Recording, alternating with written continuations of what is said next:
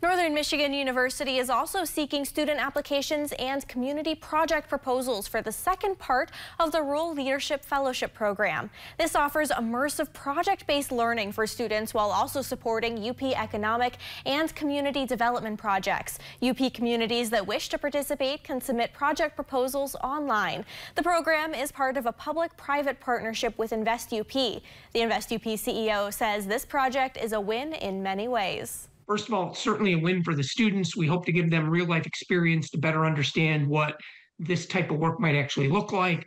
Secondly, it's an important win for our communities because they really need the help.